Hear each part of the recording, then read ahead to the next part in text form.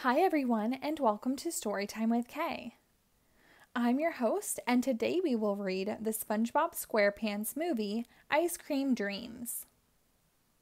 This book was adapted by Nancy Krulik and illustrated by Heather Martinez. It was published by Simon Spotlight in New York in 2004.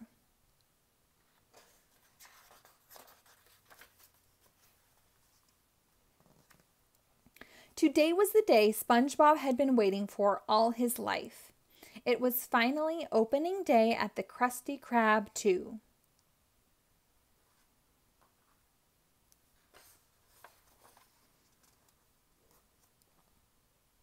SpongeBob had good reason to be excited. He was sure Mr. Krabs was going to make him manager of the new restaurant. There was no one better for the job. After all, SpongeBob had been Employee of the Month at the Krusty Krab 374 times in a row. I'm ready, he said proudly. Promotion!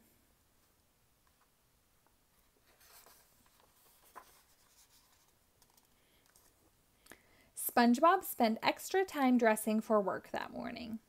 Cleanliness is next to managerliness, he declared as he straightened his square pants and went to work.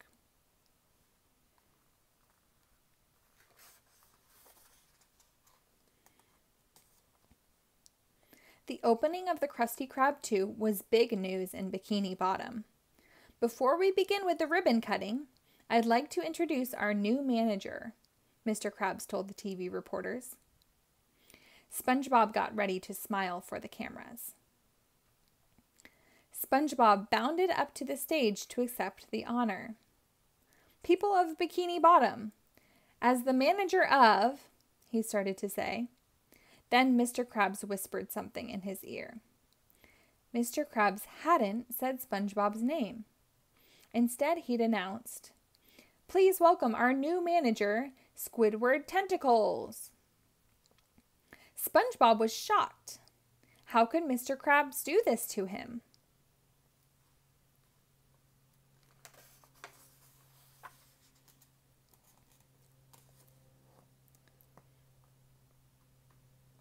Mr. Krabs explained that he didn't think SpongeBob was ready for the job. You're just a kid, he said. To be a manager, you have to be a man. Otherwise, they'd call it a kidager. You understand, Ager?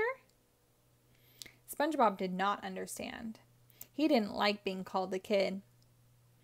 There would be no celebrating tonight. SpongeBob just wanted to go home and be alone in his pineapple.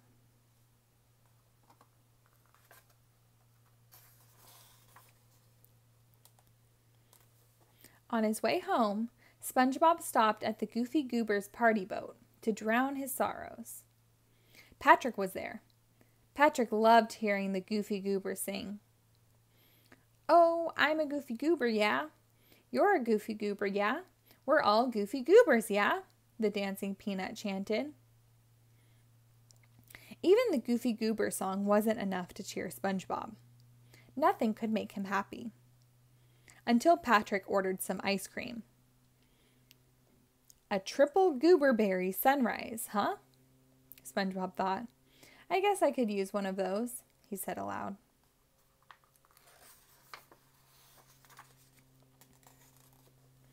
Slurp, splatter, yum! SpongeBob gulped down a whole sundae. That hit the spot. I'm feeling better already. Once SpongeBob got started eating triple go- gooberberry sunrises, he couldn't stop. Neither could Patrick. Chomp, chomp, slurp, slurp. In a matter of seconds, they'd eaten two more, and they weren't finished yet. Finished yet.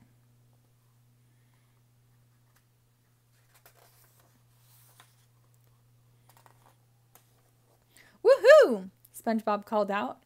Waiter! He held up two fingers. Why do I always get the goofy ones? The waiter wondered aloud as he made two more triple gooberberry sunrises.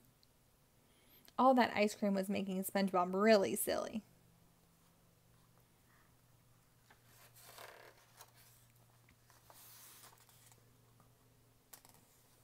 This one goes out to my two bestest friends in the whole world, SpongeBob announced. Patrick and this peanut guy. It's a little song called Waiter, SpongeBob and Patrick sang together.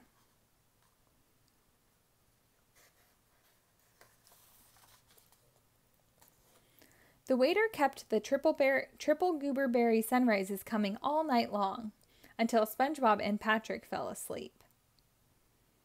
The first thing SpongeBob wanted when he woke up in the morning was a double fudge spinny. A triple goober berry sunrise just didn't seem like a breakfast food.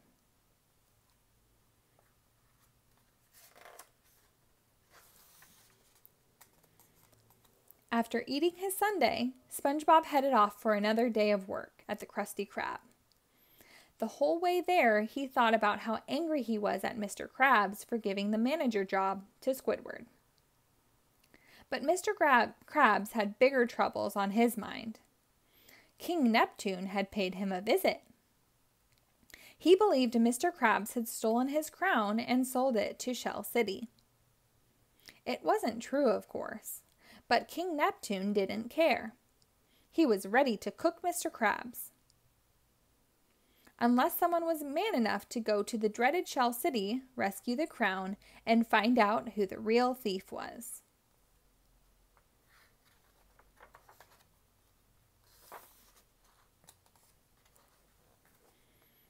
SpongeBob was the first to volunteer. He would save Mr. Krabs' life. The road to Shell City is the most dangerous journey of all, the king warned. What chance would you have? You're just a kid. I know I can do it, SpongeBob vowed. Let's go get that crown, Pat. SpongeBob knew in his spongy heart that he could be a brave man, as in manager.